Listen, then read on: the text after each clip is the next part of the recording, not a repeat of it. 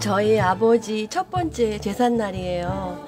저희 아버지가 주현미 노래를 너무 많이 좋아하셨답니다. 그래서 제가 아버지 차를 끌면서 아버지 차에 있는 주현미 테이프를 아주 많이 들었답니다. 아버지한테 이 노래 들려드리고 싶어요. 러브레터예요.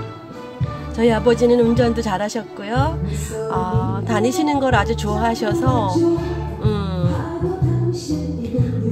우리 이웃 사람들은 우리 동네 사람들은 우리 아버지 차를 안 타본 사람이 없답니다.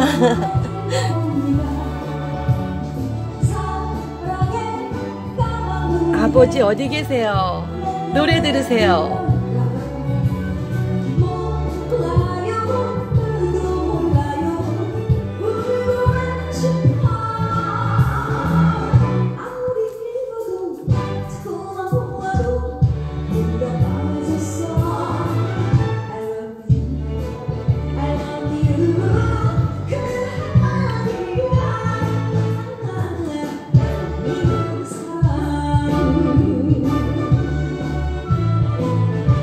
아버지는 노래도 잘하셨답니다. 저희 아버지는 키도 아주 컸었어요. 그레고리 펫처럼 생기셨었어요. 저희 아버지는.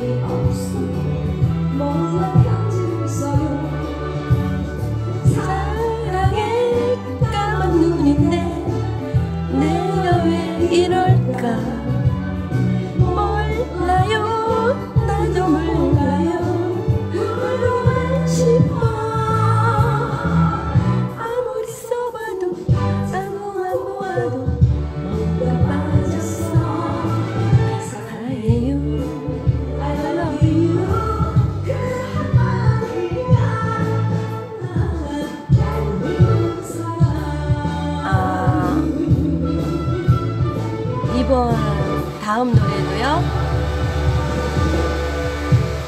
다음 노래는 저희 아버지가 잘 부르던 노래예요.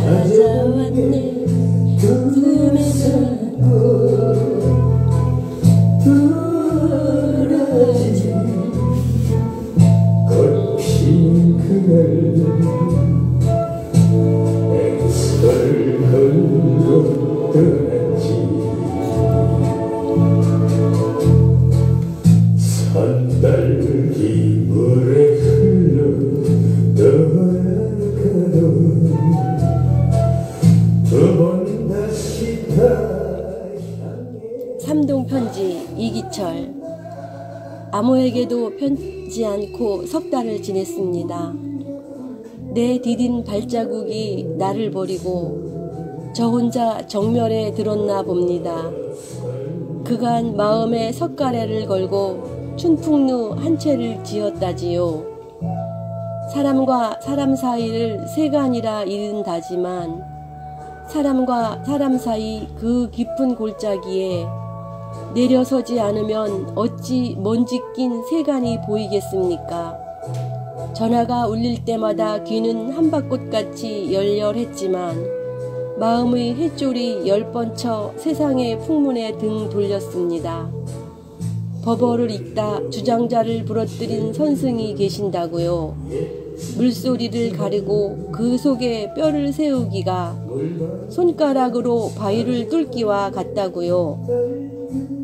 세상이 날려보내는 말들이 비수가 되어 가슴에 꽂힐 때마다 자갈돌 사- 쌓아 올려 석탑을 이루는 석공의 인고를 생각했습니다.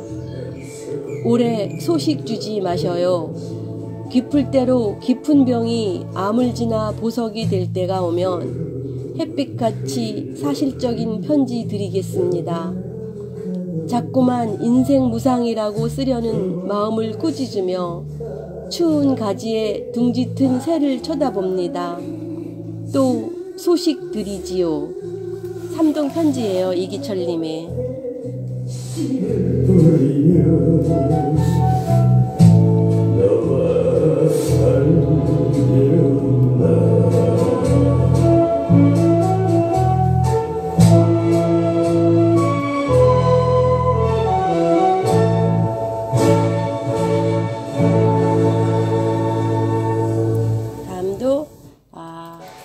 파파를 들어볼게요.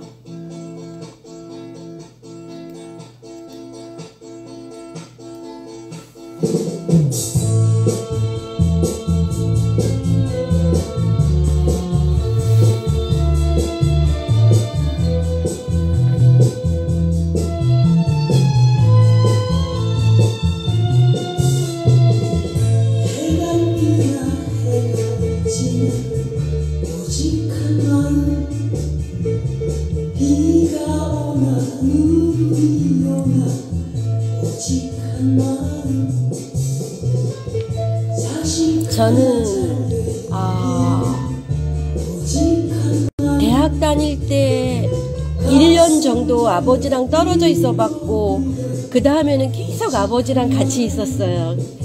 아, 그래서 아버지가 없는 상황을 생각해 보지 않았는데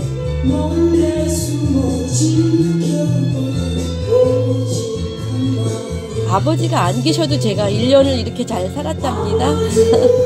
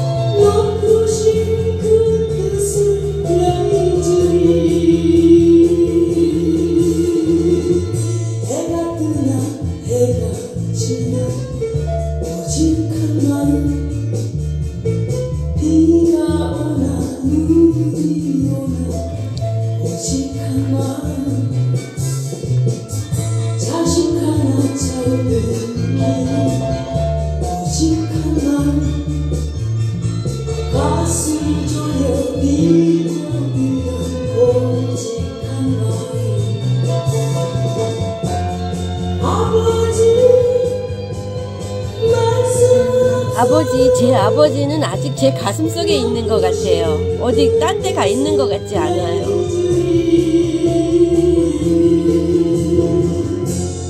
아버